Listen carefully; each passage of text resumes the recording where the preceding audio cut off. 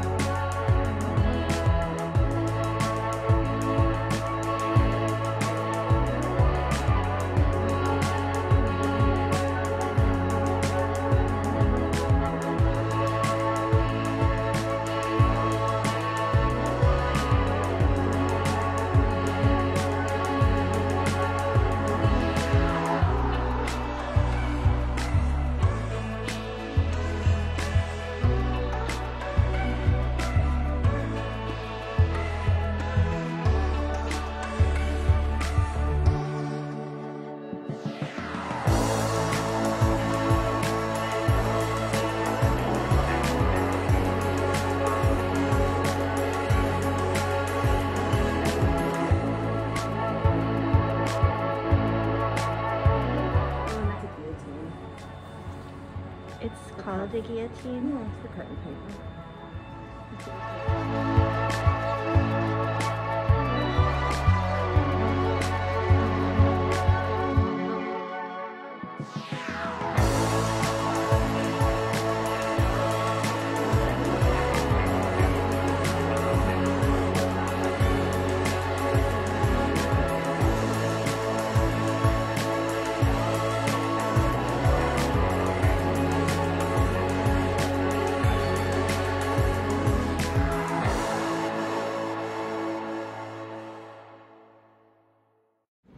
Here we are in Heidi's stu Very- student very messy studio. studio.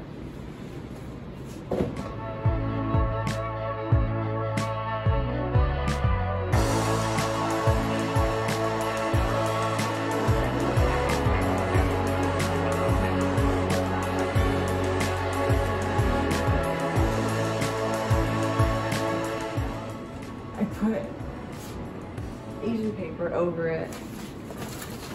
Like rice paper. Yeah, it wasn't, it's not rice, like maybe mulberry or something. And then pulled the ink off onto the other sheet. So it's like a transfer. So I use the print as the matrix because like normally the, the wood would be the matrix. Um, and I'm, it's like the print is glued to this piece of fabric. And now I'm like removing the paper. So it'll be left over. I think I did something like this once. It helps the paper. Oh, okay. And it feels like Oh, it feels Paper- like waxy. So I, I took the print and glued it to this board and then just like sanded and stuff and then I coated this with varnish. But you can see by the dot pattern, this is a four color CMYK breakdown. So I made a blue one, a magenta one, a cyan one, and a black one and then stacked them on top of each other. Mm. And there's these dot patterns, you can see. It's a reproduction of that painting, the Compassionate Cat You said this is the east-west situation here because this is bloodletting from a western manuscript and these other characters are based on eastern ones. I think I added the squirrels in myself. I don't think that was in the original. But the, the structure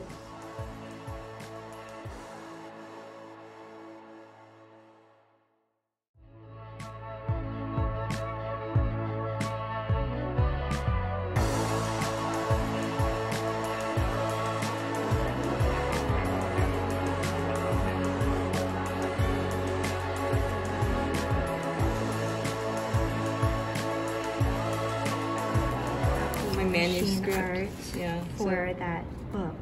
Yeah, so I cut the text out of the, the printed PDF and glued it to the top of the sheet and drew the quotation marks on by hand. And on the back, I glued pieces of my other prints That's so um, beautiful. so you can see through. I have them printed like this. And so then, you printed these on the copy machine? yeah, and then they come out like this, front and back. And I can Oh, throw this back in and make a quick copy of this version. You made prints and then you sewed them into these.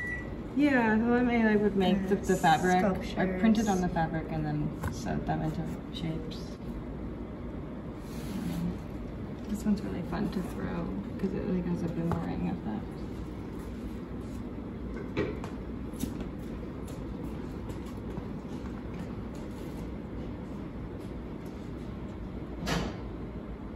Still like very prototype. I don't, I don't really know what to do with that yet, but I'll figure it out. Adorable. You embroidered the face. Not well, but I did. They're directing everything. Mm. I have another experiment happening. What's that? I bought This- poorly made colored paper and I put film over it and I taped them to the window. So it's like burning on there. Oh, awesome. I like that. So it feels like an old library book. But it looks crappy because it's the inkjet. So I'm gonna probably remake it. So this is all dedicated to your cat who, Harold and Mitchell. Mm-hmm. oh, both cats, yeah, Harold and Mitchell, who passed away last year. Mm-hmm. Was it last year? No.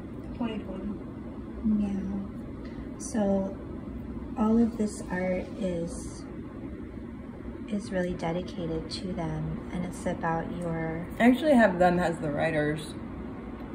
Oh, okay. Because they basically it told was me like the story. channeled through you. I it was cut into my flesh. Scratched. oh, cut into, your flesh. Scratched into my flesh. Okay, not just channeled, but Well, it was sent to Thomas in a dream, transliterated to Simon, who scratched it into my flesh.